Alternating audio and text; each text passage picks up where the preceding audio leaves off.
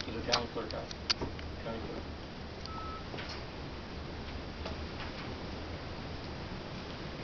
That was one file, I think, was Mhm, sixteen. on uh, the seventeenth of June. Yeah, but I mean, we usually pass them.